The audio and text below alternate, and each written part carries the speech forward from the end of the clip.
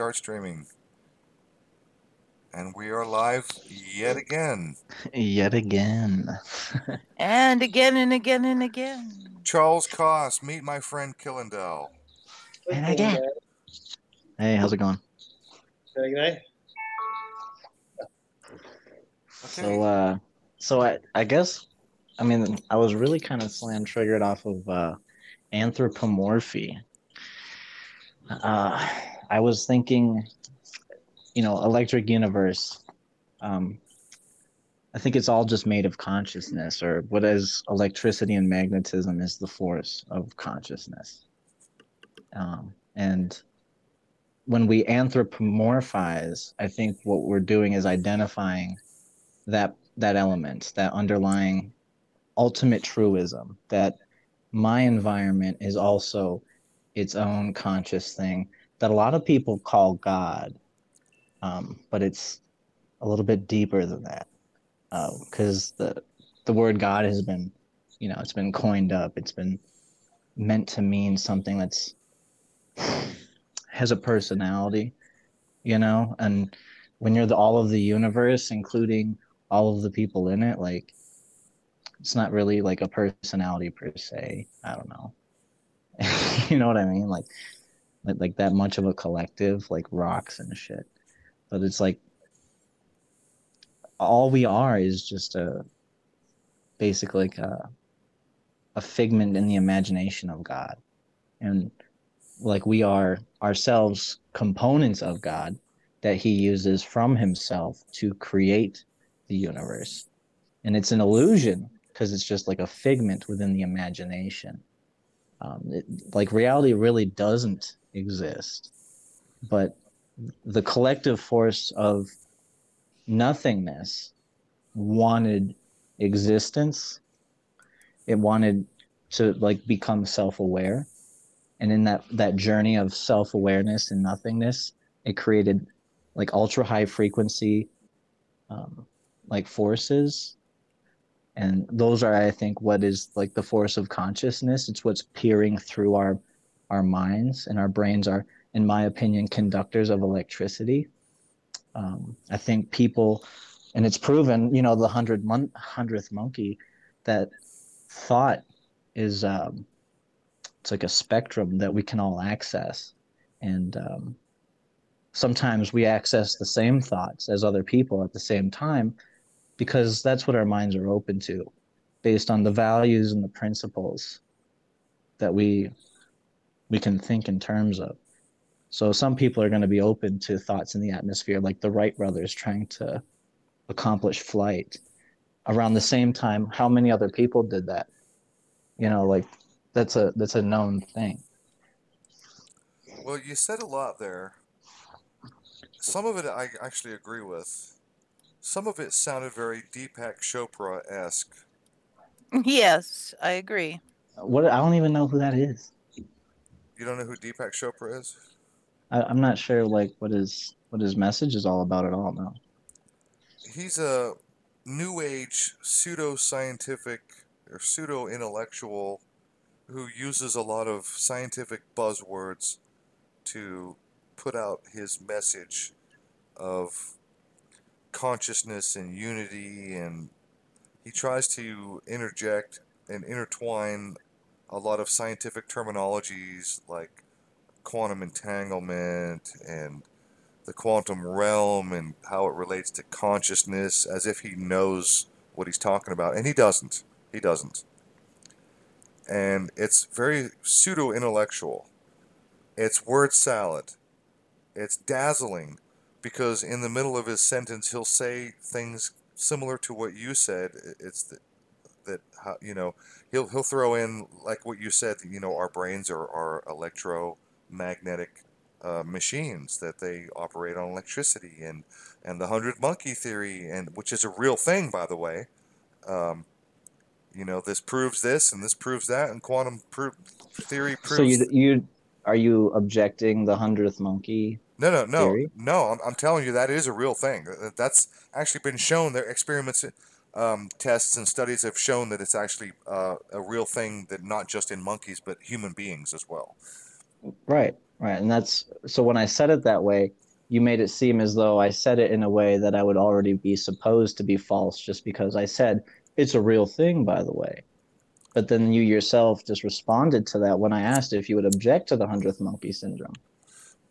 Well, the hundred monkey concept, again, it is a real thing. I recognize it as a real thing. It's a real And, uh, observation. and all I said is I believe the brain is a conductor of electricity. Well, there was something you said earlier. I was trying my best to hold it in my mind and pay attention to you while not forgetting it and not interrupting you because I didn't want to be rude. But I wanted to hold this thing in my mind, something that you said, and I, now it's gone because it's too far removed. But you said something about the nothingness, the universal nothingness Oh, yes. Right. wanted it wanted to experience itself. I'm paraphrasing. How would I know that? Right. How would I know that? Right. Um, so, like in the spans of creation, I mean, it, I wouldn't know it, right? I, I'm only speculating. Of course, I don't know anything. Uh, same with anybody else talking on these subjects, but this is where I've come to. Um, and the very first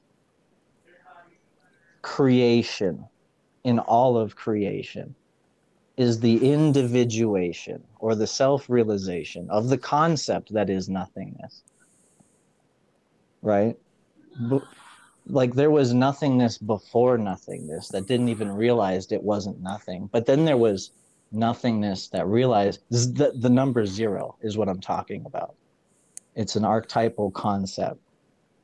And zero is a vacuum for every potentiate uh, and so it but it it has no energy to it right it's where's where does it create anything and it and its only creation is in its own hyperbolic self-analysis its own creation of mind Stop right there. Stop right there. right. You you said it. yeah. It is a definition of a thing. yeah. And you're talking about a thing that is has no energy. That is basically zero. It is nothing. How can you have nothing and call it an it? Because it's um it's a meridian within a realm of relativity now you sound like deepak chopra. What the fuck does that mean? So it's it's relative unto itself. Um, like when you look at a, a, a compass it has 360 degrees. Okay. But there, there's also zero. Zero is one of them. It actually has 359 and the 360th degree is zero. Um, and it's it's the alpha and the omega the starting and the ending point. Right like you can always reference back to the idea of nothingness. So it's it's it's its own and in electric universe theory is what it's talking about is the like the the battle between electricity and magnetism the the force of polarities.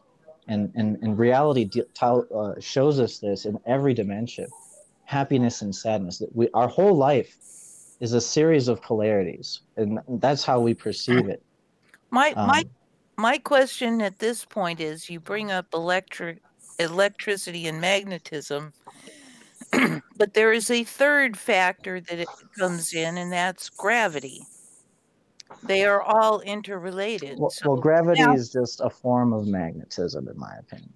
gravity Well- i- is in fact amy i'm not sure if you've seen Wal Thornhill's presentation on gravity and you really should if you're not familiar. Well I, i'll hunt for it then. I'll i'll find it and then i'll give it to you oh because excellent excellent. because the way Wal Thornhill describes gravity in terms of electromagnetism is so fundamental and easy to understand.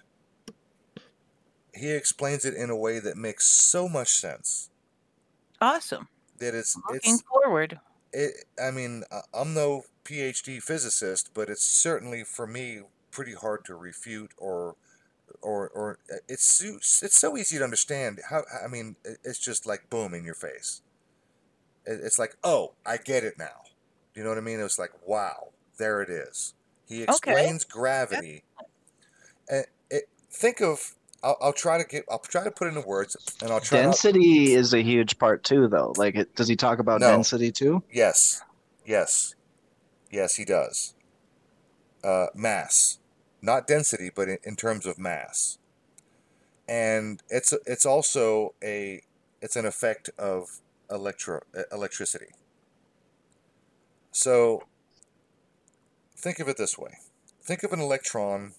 I mean, your symbol, your your icon, Killendel, is a, is a perfect circle. You've got the, the yin and the yang. But ignore the graphics inside. Think of a perfect circle. Now, think of an uh, the nucleus of an atom in the center of that circle. Just look at your icon and imagine a nucleus right in the center. Now, I'm going to highlight you at least so that I can. I, I hope everybody else can see your your icon without interruption. Now, now imagine that nucleus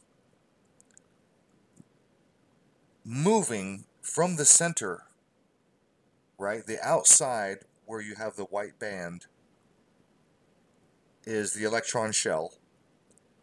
Now imagine the nucleus not in the center, but imagine that black dot in the middle of the white yin. Imagine the nucleus relocating itself off center where the black dot is. You follow me? Yeah. Okay. That's gravity. Can you explain that a little bit more? Probably no, because I'm not Wal Thornhill. But the way he describes it is that when God, I, I- I'm I'm probably going to mess this up terribly. That when things attract themselves to each other through electromagnetism, that the nucleus of an atom will shift its position from center to off center, uh, closer to one side of the, the, the electron shell. And that is an indication of mass and gravity. That's your vector. That's the direction of gravity. It's, it's Okay. it's a Okay, byproduct. so it's a byproduct of electricity, saying- no matter what, every time. And that is a product of like the rotation of the Earth or the direction that the Earth is moving in in a grander scale of the solar system? Well, Is it relative to like you standing on the Earth? So is it like constantly to the side of us right now? You know, is it like on the the side of us that's back relative to the rotation of the planet? Like it, we're being pulled on this rotation in a way? think of think of every atom in your body as it's being pulled towards the center of the Earth. Every atom in your body is has the nucleus is offset. It's not in the center of its little electron shell. It's slightly It's- it's- offset It's towards pulled towards the center of the Earth. right. It's a it's a it's a product or byproduct of electromagnetism. All right, so try this on for size. What if the center of the Earth would then be like the true center of ourselves? We would just be a center, like a an extension of that, and like our eyes is like looking out the bottommost part of ourselves. I, I don't know what that means. You know how like a, a computer motherboard has all the switch components on the back of it? Switch components on the back of it. No. Like what are you like about? for you to put in USB ports, Ethernet cables, all the all the all the cables go into the motherboard, Okay. but it's outside the back of a computer, right? Okay. Um, so you know those charts with like the feet and it says how like the feet when you massage this part of the, the foot it affects this part of the body. Yes. Like acupuncture type charts. Yes. Uh, okay. So Nodal like- points. is um, what I'm trying to get at is like we're we're an extension of the earth, right? like, like our feet connect to the ground and it has all like these root points that correspond to like every part of the body like the base of a plant's stem develops the flower Sure. I mean, I've I've heard stuff like that, and I think there's probably something to it. I mean, when um, you, but I mean, I've done electric, I've, I've done electrical, like work. I, I used to. I Okay. was a- I was an So- apprentice. So I understand so- the concept of electricity, and when you ground a circuit, it literally is literally going to the ground, the actual ground.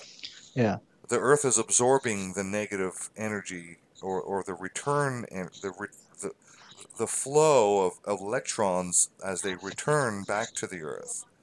right but we're talking about a much higher frequency grade something that actually structures our reality right now we're talking such high levels of frequency that are involved in the structure of our bodies and um, just the like the things that support our thoughts uh, we talked about the hundredth monkey syndrome talking about that the thing that supports our thoughts is more like a field like an electromagnetic field um, and Yeah, stop What calling it a syndrome. what do you mean The hundredth monkey. I, I'm pretty sure it's not classified as a syndrome. Sorry. Okay. Yeah, it's a bad word. So, um, but I'm ultimately trying to get at that.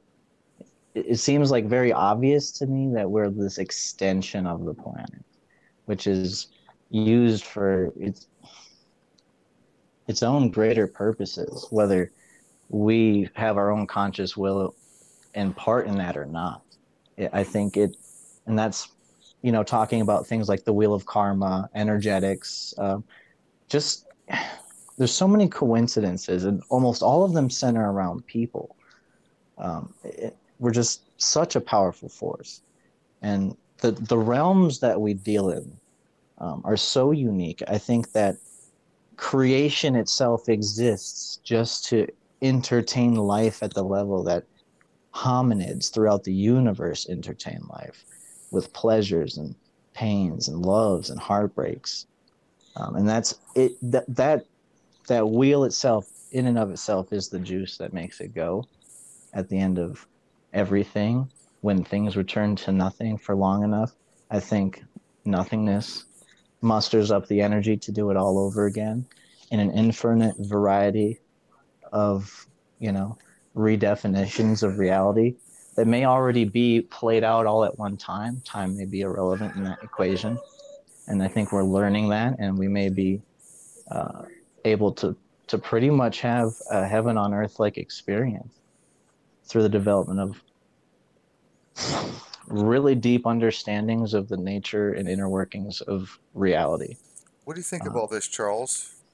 In in the realms of consciousness and the human interaction and our, our personal human experience and the, the the experience of humans on Earth and, and particularly as consciousness is involved, what do you what do you Well, Killendel, you're bloody genius. This is amazing stuff. Uh, I, I started uh, uh, uh, reading about Deepak Chopra also in another window while listening to this. And, and yeah, it sounds like Deepak Chopra, yes. because I was reading he actually integrates quantum mechanics with his own teachings, um, with his own Ayurvedic uh, alternate medicine and living forever stuff. It's all state of mind kind of stuff. Yeah, um, I, I'm not altogether following it, but yeah, it's it's it's uh, it's, it's it's pretty pretty clever stuff, Killendel. Um, I mean, uh, Yeah. any any uh, like logical attacks, please uh, go ahead. uh, it- it's very philosophical. Uh, it's very it, it, it makes sense uh, from a from if you're a sort of from a philosophical standpoint because it feels like it makes sense. Uh, I'm very scientific. Uh, although although Rufus says I prove stuff without proving it, you know, there's speculation, which is good too. But the stuff, the stuff you say is bloody is bloody good, and it doesn't make sense on a very fundamental level. It's it's interesting, yeah. Well, Well, I like I like so- Charles because he's not afraid to speculate. He he's not afraid to think outside of the mainstream box, and so um, I I got I didn't mad mean- I respect didn't- for that I didn't- response. It I didn't mean great that to be a dig on you, Charles. I, Oh, I, I, I meant it as a compliment. That is, I, I took it as a compliment. Yeah, okay. take it any other way. Yeah. I'm a little worried he's not um he's not mentioning something particular, I'd love to like chew the fat on something particularly because I know that I'm not perfect. I'm, you know, prone to logical errors and over philosophizing is just my nature. Like that's what I do. And I am very scientific. I'm not, you know, deep ND with this. I'm not gonna try and jump off a roof and commit myself to the hope that I might be able to in that moment fly like a bird. Uh, but I I mean, it, I take it to the to the level of even like bioelectric issues. Like, I think the reason why the Bible says not to get tattoos and piercings is because it will prevent us from aligning with higher electric magnetic, sorry, higher electromagnetic energies to create something like a, an inertia bubble by creating a counter rotational force of the electromagnetic field of the auric body that everyone has. And it's totally conceivable. It's totally thought possible by me. Um, but I think we would have to be on a live enzyme diet to do it. I think we eat food that dampens our electromagnetic um, resonance. If you look into Kirlian photography, they talk about this, and it's it seems to make a lot of sense to me. I, I um, was just wondering what you would think of the spiritual experience that I had. And this was quite a number of years ago. And I do not remember what I was doing, but I do know that it was something mundane, like maybe washing dishes or folding laundry or something on that order. and uh, suddenly I both expanded and contracted. And I expanded to the point where I was everything. And I do mean everything all time, all space, all dimensions, and contracted to the point where I was nothing. No time, no space, no dimensions. And I don't know how long I was in that state. And I can't say when I returned because I never left.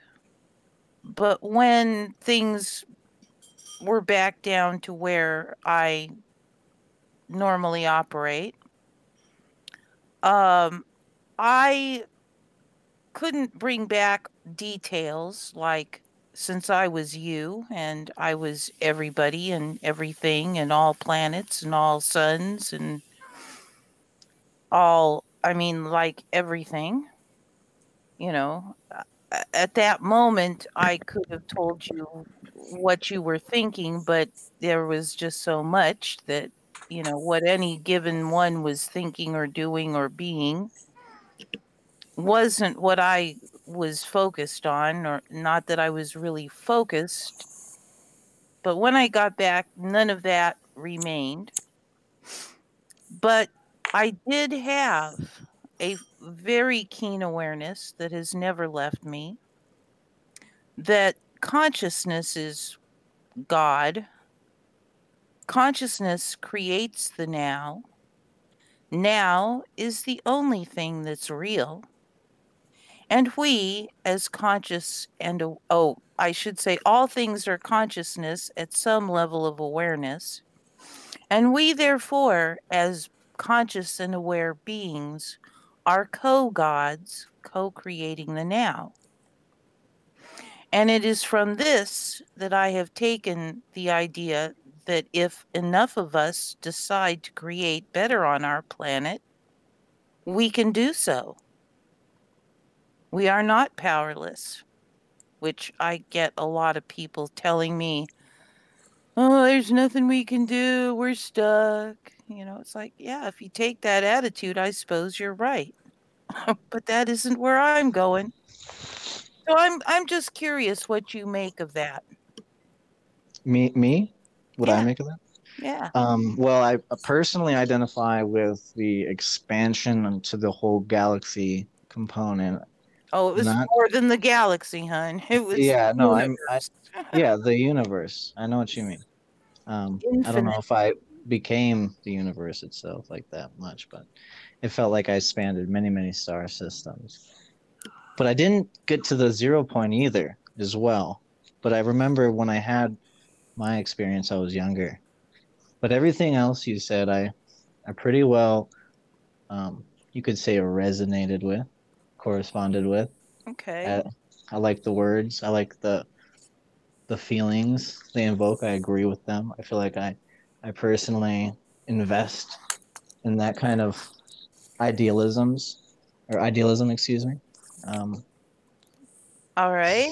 I, I I don't know what what kind of perspective on it were you hoping I might put? I I just wanted whatever you said. So whatever you said was awesome and fine.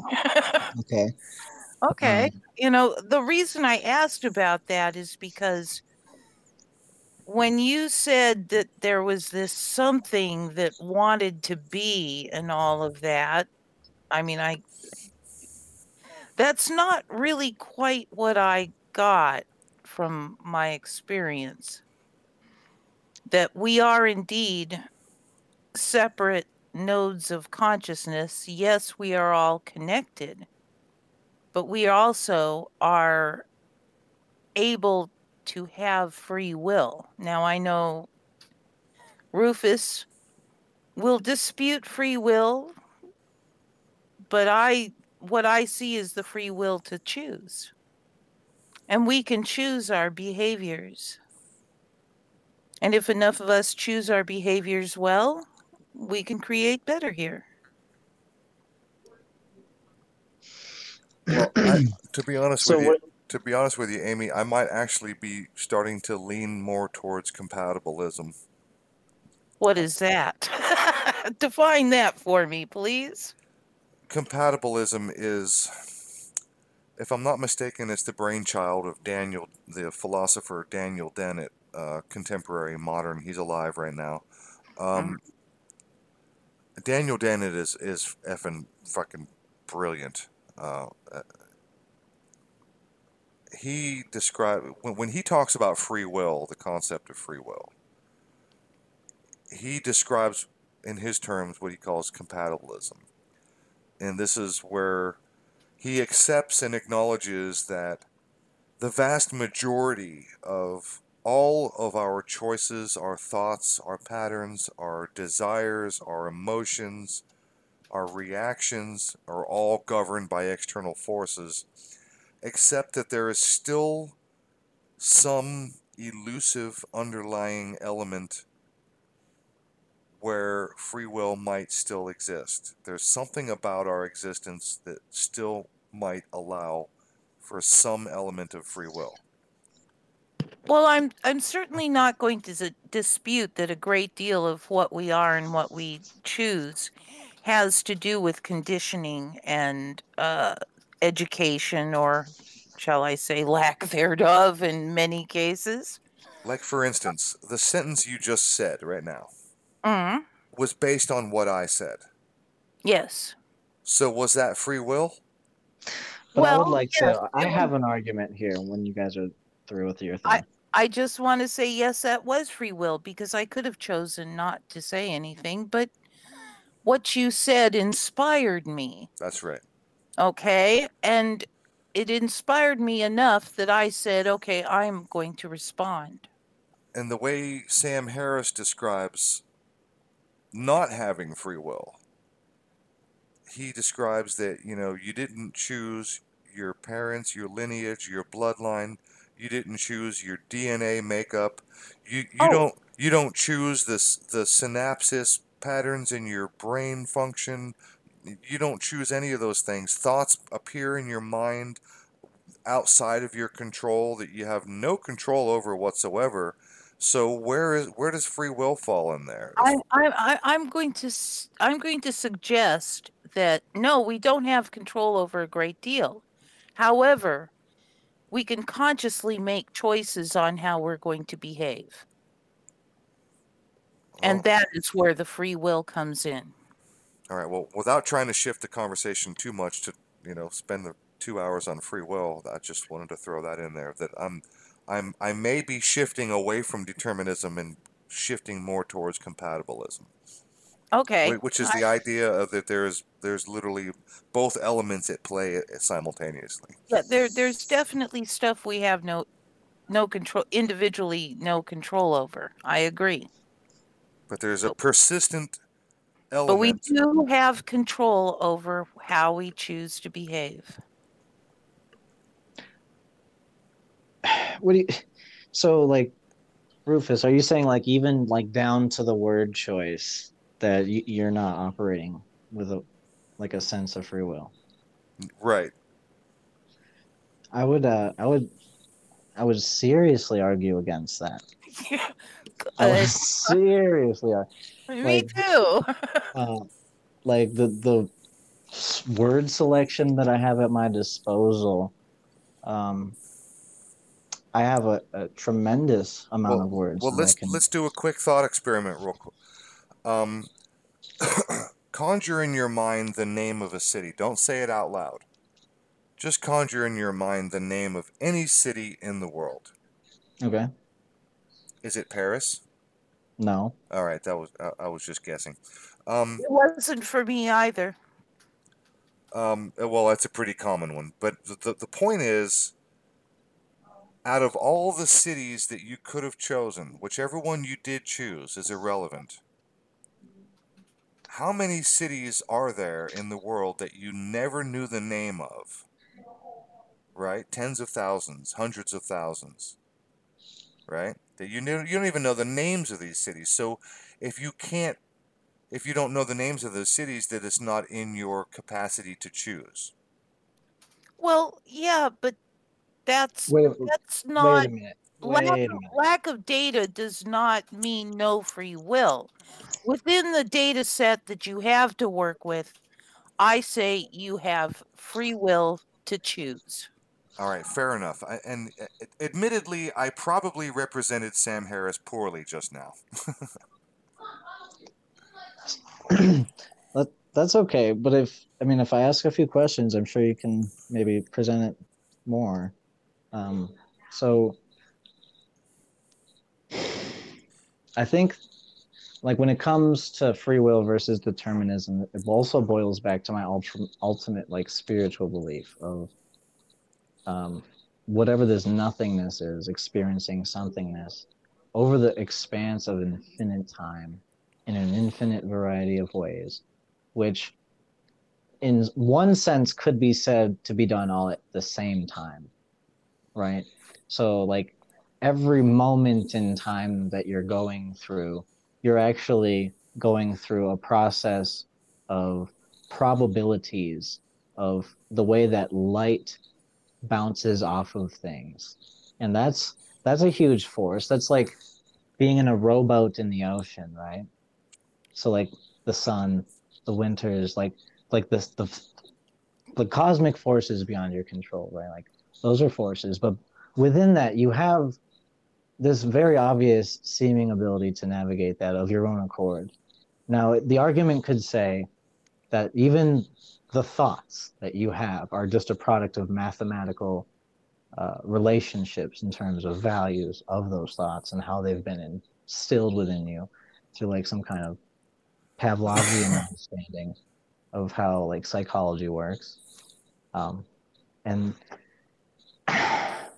I just can't like it, is that where you get behind it, Aaron? Or, or sorry, Rufus, excuse me. Um, or is that am I am I lost? Can anyone hear me? I can hear you. I- could you I can hear you. Could you just refine your question a little bit better? Yeah. So, do you get behind determinism in the sense that it says that even your thoughts are the product of like mathematical relationships in terms of the values of ideas that you think in? Your So, thou- like- your, your thoughts are.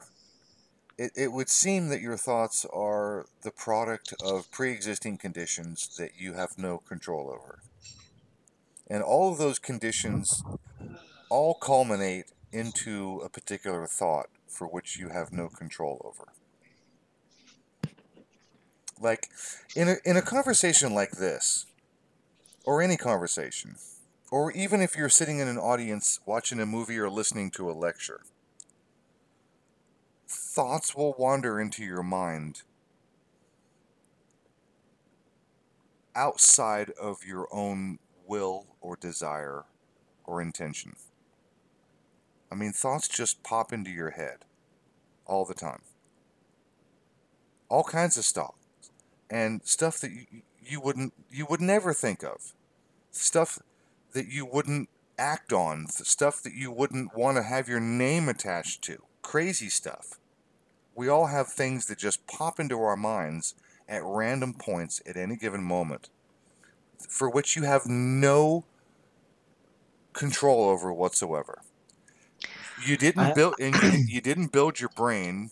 You have no control over how much oxygen is being supplied to your brain.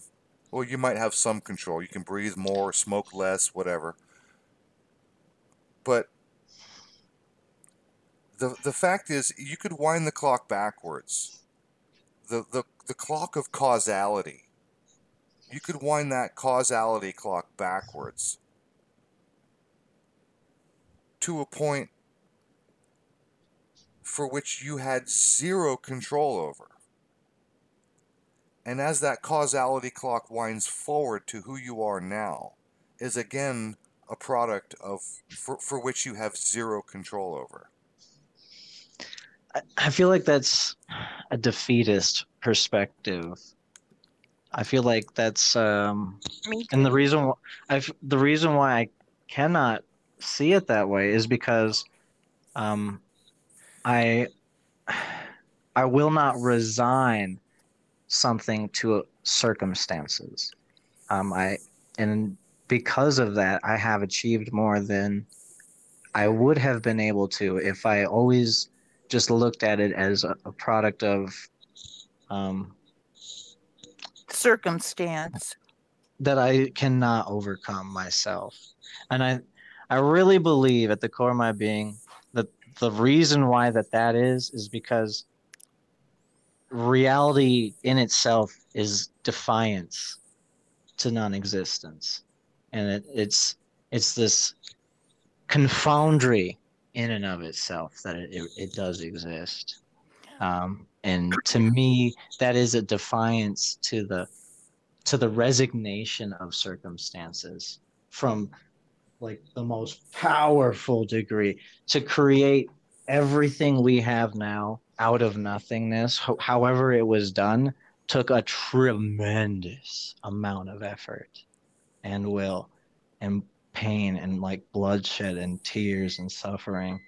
And it's it's all for the sense of contrast and it's all necessary and it's all done despite those pains. And some parts of reality even get off on it you know feed into it All right, I'll, I'll Mm. give I'll give you one more example. Then I want to get Charles's take on this. Um, Sam Harris puts uh, give he gives another example. He is a, a, a neuroscientist, and he describes a case, and there are multiple like this. There's a guy with a brain tumor, and he doesn't know that he has a brain tumor. There's a guy who has a propensity towards violence and he gets himself in trouble. He gets arrested. He winds up in prison.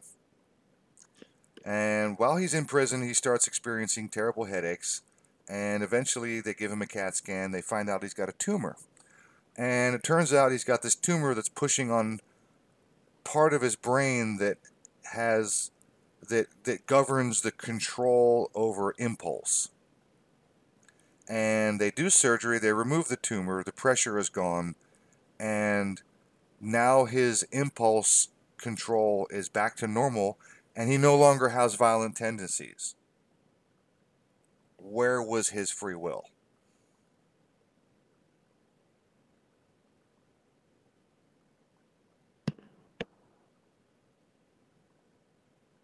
sorry um his free will Yeah, that's the Um, that, that's the sixty-four million dollar question. nobody's saying free will isn't all the time everything kind of thing um, free will is it's a leverage of consciousness over materia reality That's a. And- you know what? I like the way you phrase that. That's a, that's good. I, I dig that. I, I can I just add one last quick thing. Um, I used to suffer from chronic depression. And okay, you could say it was not within my control that I was introduced to the book Choice Theory by William Glasser, but I was introduced to it. And it took, you know, I I could have just tossed it off, but I made the choice to at least give it a try. Whereby uh rather than deciding that there was nothing I could do, I decided there that if I put this to use, I just might have some options. And I they suggested something and every time I started feeling depressed, I would say to myself, why are you choosing to depress? And sometimes I'd get an answer, and most often I didn't. But it didn't matter because then I would follow it up with, Is there a better choice? And initially, my depression would go away for an hour or two. And then we go through, we, huh, I would go through that with myself again. But this is a very conscious decision that I made to do this. I didn't have to do it, and I could have chosen not to, but I had the free will to choose. And I would choose to ask myself, why are you choosing to depress? Is there a better choice? And after about uh, a month, I was getting depressed about once a week. And after about three months, I wasn't, I was rarely getting depressed, you know, maybe once a month or two. Uh, it, it started to spread out. And at this point, I haven't had to ask myself that question for a very long time. I do not choose to depress. Um, that's a good point you bring up, Amy. And as a woman, you bring to mind another aspect that I want to throw out there, and that is the monthly cycle of women and men as well, by the way. We have monthly cycles where various hormones are higher and lower levels. Women, women, uh, obviously, uh, on the more extreme end. Um, so when you have particular hormones, chemicals flooding your body that are causing actions and reactions in your brain synapses, again, I ask, where is your free will? Well, you're you're probably asking the wrong person because I have had men more than once be amazed that I never displayed any such behavior changes. Well, neverthe- nevertheless, you recognize that that is a problem, and when you Well, talk and about I agree that again there are things that are outside of our control. okay, However, when it hits, uh, one could make the conscious choice to watch one's behavior and not relinquish one's conscious free will to the effects that one is experiencing. And that I think has a lot to do with my my choice of depression too. Charles, what say you? What do you think? of This, What say you, Charles? With, with, this uh, this uh, notion of free will versus determinism, since that's what we're talking about, what do you think? I think it's a mix. Like you said, sometimes ideas pop into our head, and then you see things like, for example, um, my bro, he's a he's a lecturer in physics, and he was talking no, in computer science, and he was talking about FAT32, you know, the old system, right, of hard drives. And while, when he said that, he said a fat person walked in, and the fat person thought he was talking about him. So we're driven by synchronicity, but we're also uh, we we do have a, a, some kind of freedom with our thoughts and to control our thoughts. But we can't choose not to have someone stop annoying us and then not react to that. You know what I mean? Like it, we, we, because we can't control other people. And so the universe is sort of controlling other people and their interaction with us. and and and, and they have and those and that has the power to make us angry or sad depending on whatever. I'm going to dis- disagree with you. Yep. You, you I- I disagree that you can't control other people? I This is what- disagree that you can't that that they make you do something. You no, no, hang on, hang on, let, hang on. Let him finish. It's because, Amy, the reason we're asking the que- the reason we, no one has ever come up with the, the answer to the question, do we have free will or not? I think it's because we have both. We have it's both determinism and it's both free will. So that and, and the fact that words exist for both of them shows it shows that both exist. What do you think, Amy?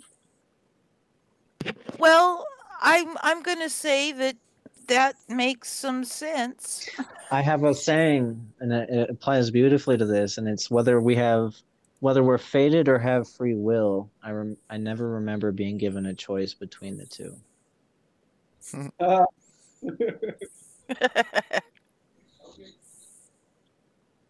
I'm, I'm just going to say that that you know there have been times when somebody has said something to me and I have felt that rush of emotion that I might get angry or whatever and I have said to myself you have a choice here.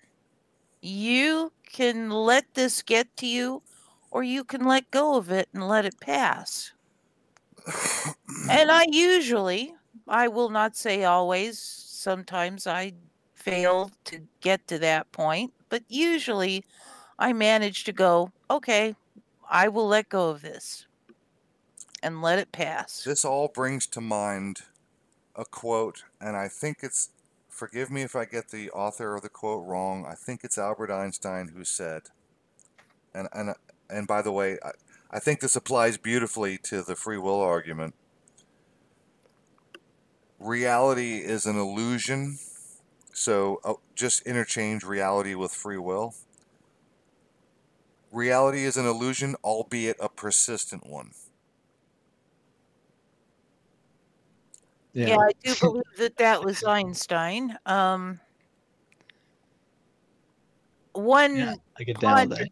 One ponder. I I must ponder that. Uh, you know, insofar as I certainly believe that what we see on the news is an illusion, but then I think that that's been deliberately created. Yeah, that's surface level. That's surface level reality. I've got a response. I've got a response to Einstein's quote, and it goes like this: um, "If an illusion is as good as reality, is it really even an illusion?" So now Good, you oh good, so, good, good. I love it. so now you oh you, now you just took us into the realm of solipsism. Uh, uh, how how did that trigger you in that way? because there's an argument for so actually it's an argument against solipsism okay so for those who if you don't know if you don't for those who listening who might not know solipsism is the idea of the matrix a brain in a vat okay that none of this is real that we're the product of some computer program somewhere or we're the product of some godly mind whatever we're experiencing is not actually real that concept right that Yeah. nothing is nothing Right. is real that's Yeah, I like how you expanded on that. I was gonna try and add to that, but you did it perfect. Okay, so that's solipsism. So there's an argument against solipsism, and it fits perfectly with what you said, Killendel, and that is, regardless of whether or not solipsism is true, regardless of the fact that I might be a brain in a vat, and this whole experience of life might be in a complete illusion. Even when I bump my elbow and I feel pain when I do so, might be an illusion. It might be computer inputs, electrical inputs to a brain sitting in a, a jar somewhere. That is irrelevant to the fact that I still have to deal with the pain when I bump my elbow. It's- yeah. It's still irrelevant. Even if solipsism is true, even if I am a brain in a vat, I still have to deal with the realities of the nature that I'm given. Yep. Yes, and that's why I'm a. I used to like really be solipsistic without even knowing about it in a way, but it is ultimately a depressing psychology perspective um, because it's you. No, nothing is real but you, is so invalidating to the experience of reality I know, and to the experience of the individuals of your reality. And it's Um, invalidating to love. Yes, and uh, You it, know- it creates the worst kind of sociopathy, in my opinion. People who Yes, invest you in know, solipsism. If Um, but noth- if you believe nothing exists but you, why why care? So Why- does determinism, by the way. Yeah. it's basically determinism. It is. It's just saying I'm a product of my reality. My reality is supporting exactly who I am, and it's making me who I am. And it's and it's just start like it starts winding it up into like this overly um, godlike. Um, what's the word? Um, complex. God complex. Yes. Yes. Uh, and uh, people who have messiah complexes are also very solipsistic um, and Yes. it's but it it just it ultimately when you really think about it it just can't be the case It's you know, kinda- that's that's amazing you said that because you sparked a thought that I remember from scripture. I am that I am. And that's exactly right. A Messiah complex does that. It, it Yeah. gives you a solipsistic base for existence. I am that I am. In other well, words, I interpret that a little differently. rather rather than who was it Descartes who said I think therefore I am or was that Aristotle? I think that was but Descartes. that's not that's not entirely wrong i mean alan watt you triggered an alan watts memory in me rufus he says i am that i am which is the name of god and i mean like if god is everything then you are definitely god you know if consciousness is God and and we are therefore Well, the Bible clearly says God is everything and from himself made oh. everything. co-gods Co-creators. co-creating the now. Yes. We are the Um, co-creators. And and that was like the real message of Jesus that I think that was so radical was him telling people like, hey, you are like, yes, I am the son of God, but you are my brothers and sisters. You know, like we are all children of God, not to, to to, like idolize him like that. to my awareness, he never said he was the son of God. He said he was Right. the son of man. That well that I don't know like what to believe in or rely upon in that whole thing. But no, Amy. the- no, he did. ide- He did identify himself as the Son of God. He said, "You cannot get to the Father but through me." Well, yeah, I understand that that is interpreted to mean that, and I can see how that could be interpreted as that, but he never said specifically, I am the Son of God. No, he never said He said, things. I am the grinning Son of? Man. what's Charles grinning about over there? He's got a thought. Come on, Charles, pipe up. it off now, but uh, yeah, yeah, the conversation's beautiful. and Thanks for the convo. Uh, yeah, as for Jesus being the Son of God or Son of Man, I can't quite remember what the Bible says. And uh, and didn't didn't this didn't this questions like this open the way for all these schisms and heresies and things like that? You know, because the Bible isn't exactly explicit because no one really knows. Like, uh, yeah, I mean, do you really want to rely upon the Bible, which was concocted by channelers? No, no, no, I don't. we don't. Well, I wouldn't classify them as channelers. How do you know? You don't know that they were channelers. They could have just been Jewish. Go ahead, Charles. It- it's part biography. The, the New Testament, it, it's like it's it's not quite. You know, I've actually got a theory that the, the a few early books of the Quran are the actual New Testament of the early Christians, and uh, because they're the ones that talk about doing good, doing good, and that's a very Christian thing. You don't see that in the New Testament, but um, uh, uh, the, the the New Testament books are definitely biographies made for mass consumption. Um, as for Book of Revelation, I guess that is channeled or, or something, or he was on drugs or something. But Oh, the new uh, uh, the Book of Revelation is nothing but an acid trip on, in text form. well, it is. Maybe it was psiloc- maybe it was Uh. psilocybin. It is. Yeah. Anyway, I'm heading. Well, uh, uh, thanks so much. Charles, it's it's always a pleasure. Uh, I, we love having you around, and thank you for your time. Absolutely. It's been wonderful. Cheers. have a good night, man. Yeah. Cheers, mate. Cheers. Nice to meet you as well. All right. Yes, definitely. Yeah. Very good, Charles. Thanks. Have have yourself a good rest of your day. You too.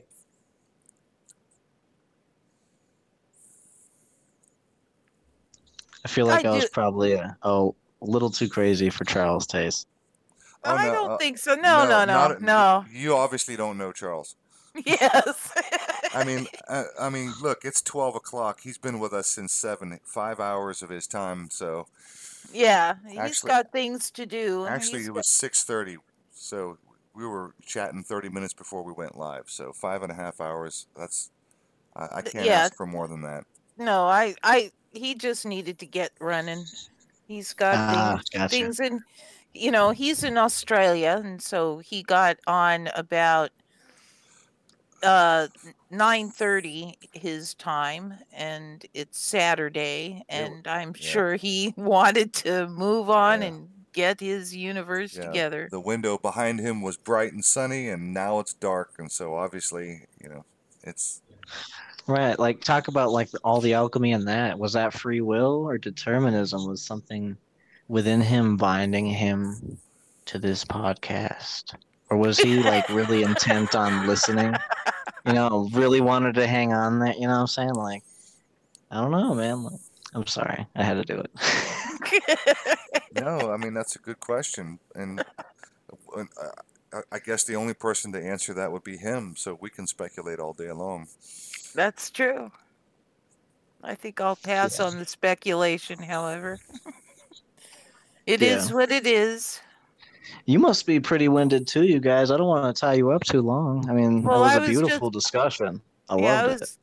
I was just thinking that I might want to also it you know, it's getting it's actually 44 minutes past my bedtime. Yeah, it's almost So- tw- almost twelve my time. Yeah, well, that's almost 12 my time and I u- like to go to bed around 11. This is probably So- a perfect place to call. I usually don't have much Yeah. steam in me anyway.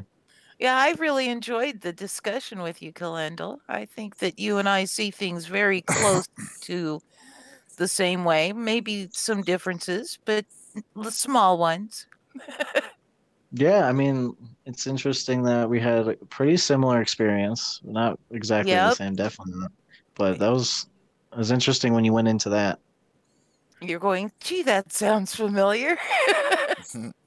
Yeah, yep. Yep. When you have an All right. experience like that, I think that it, it really shifts your perspective. anyway, you have a good night and love always. Yeah, it was good catching up with you, Killendel, and um, we'll see you around. I'm always in touch. You know how to get a hold of me. most definitely. Yeah. You know what I wonder about Amy, really quick, is Hmm, yes. that's like a prefrontally loaded concept, maybe from like a movie or something we once saw. So I, I, I wonder about that, but What my my experience? not yours particularly, but mine when I had that Oh, experience. in yeah, I don't know I, like, because saw a movie or something.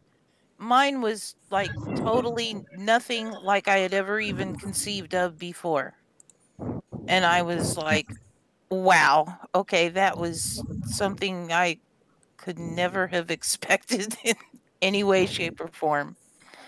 But it Hmm. definitely made my grasp of how how my work was to proceed and that is to get enough people withdrawing consent and consenting to better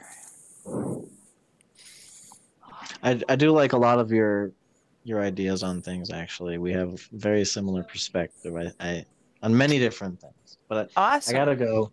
I'm gonna let Yeah. you guys go. okay Um, wonderful talking to you. Have a good night. yeah i hope to talk to you again Catch you next time around, Maddie. Be good. All right. Have a good night. Bye bye. Right on. So um, I guess I'll engage the chat for a minute, Amy. Um, almost. It's, Yeah. It's already past your bedtime. yeah Um, what happened with Gandalf? He had to run off. yeah i guess he had something he had to do he didn't really say anything but the way he tried to shut it down at 10 and, I, I and then and I saw a little message pop up from him said he he mentioned he had to get out. Um, Yeah. But, um, okay. yeah, I missed it. I guess I haven't been focused much on the chat tonight.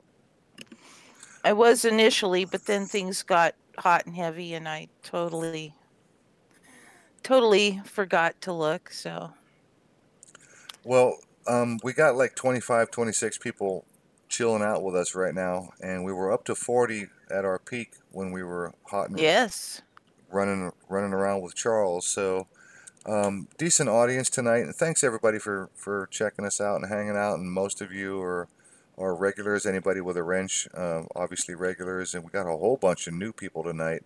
Um, so thanks for that. Um, yeah, it's been absolutely awesome, and I'm hoping that people who haven't been here before do check out my channel. CFAPS seven eight six five YouTube vid. Do you know who CFAPS is? Yes, yes, I do. You do? Yes. We had a little falling out, but I'm not going to go into that. Oh, okay. when am I going to have Jordan Maxwell again? Um, I don't know. Um, I'm in contact with Jordan. I've got him on Skype. Haven't spoken to him since you know the show two weeks ago. I'm busy and he's busy, but um, I am in contact with Jordan. We will have him back, and with a little bit of luck, maybe I can afford to take the RV and go all the way out to either do one of two things: either see him at his last public appearance, or maybe fingers crossed, potentially pick him up and Take him there. escort him to his final public appearance. So um, we're working on that one. Um, it's it's up in the air, uh, but I don't know. Any other? Uh, let's see what else we have here. You like that channel, CFAPS? All right, I'm gonna go ahead and copy that. I think it's CF apps. Yeah, I'm just I'm I'm sure. CFAPs just brings something very wrong to mind. Dang it! I'm sorry. I wish the chat would stay still long enough for me to click the copy button. CF apps. Stay. Copy. Got it. All right. I'm gonna go ahead and see if I can. We go- we've had Zach. Um, I, I, I, if you check out my channel, you'll see uh, why I would rather not speak with the man. And I'll leave it at that. Oh, I just gave him a subscription, so I'll go check out CFAPS. CF apps. Um, the icon actually looked a little bit familiar. Yeah, he does some very good work, but we didn't see eye to eye on something. No, I don't think we'll be having Zach Hubbard. We've had a, we've had Zach Hubbard on here like three times already. Yep, yep. And um, yeah, I'm just gonna I'm not gonna talk shit, but no, I, I, don't- I don't anticipate having Zach on here again. I don't either. When and where is Jordan Maxwell's last appearance? Um, It's in Bull. Um, uh, oh gosh, I'm. It's just outside of Las Vegas. I've been through the place. it's in uh, what was it, Reno, Nevada? No, not Reno. No. Um, Um, it's just outside of Las Vegas. Um, it's at the Aquarius Hotel. It's called MegaCon. I think. I think it's called MegaCon.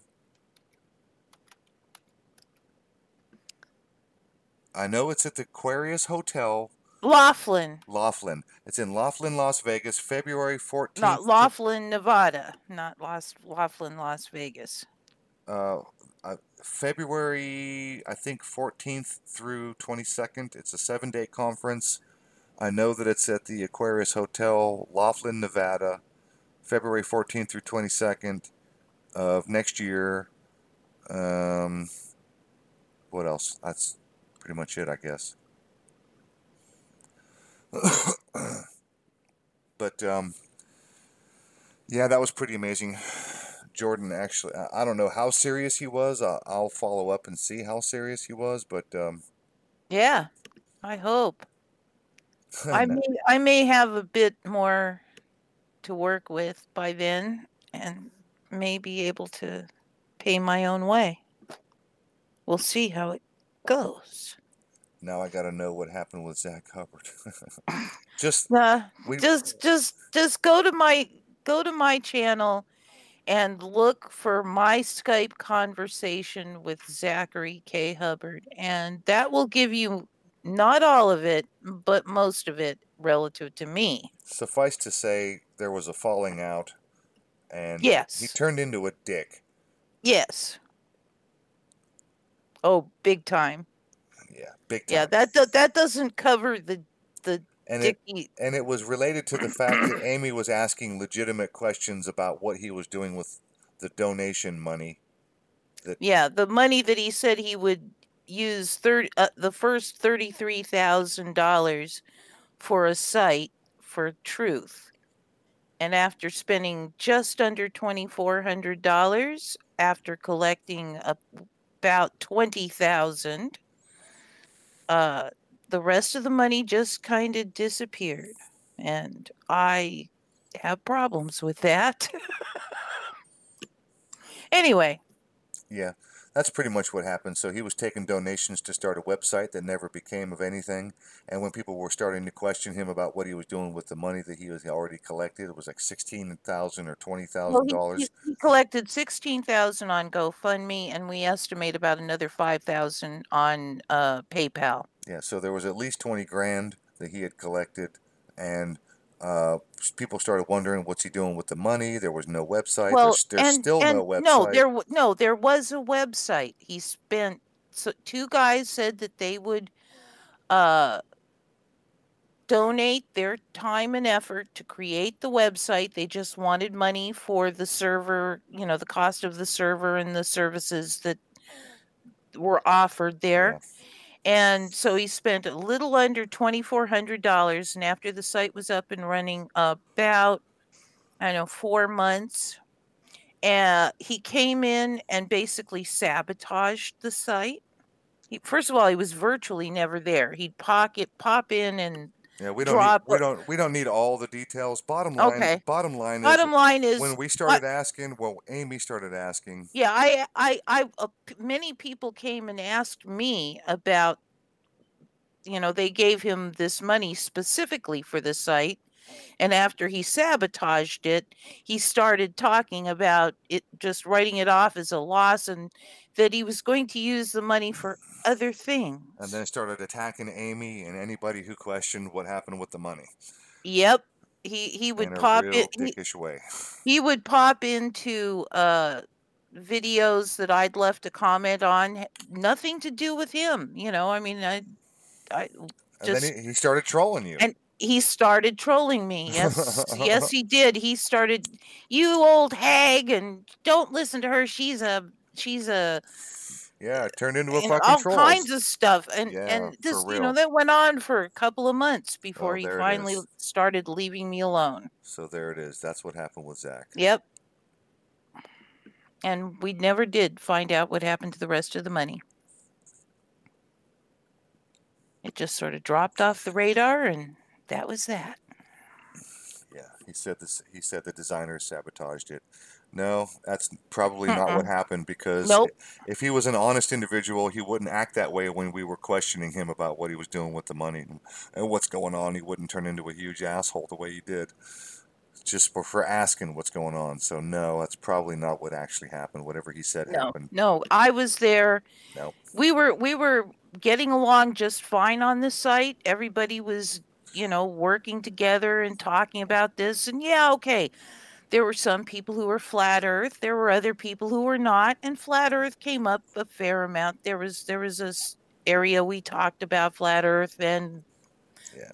you know the all the problems with that. and then he came in and said that uh, that th- the flat earthers had taken over and he's just the, the site's ruined and and he's not going to put any more money into it because the flat earthers took over and it's like no they didn't. They absolutely did not. Yeah. like i said some of some were talking about it. Most of us were talking about the news and running numbers on events and all that which is you know change the so, subject. yeah. I'm done. Change of subject. Yes, good idea. Actually, I'm done. I want to go to bed. Yep. All right, so- Amy.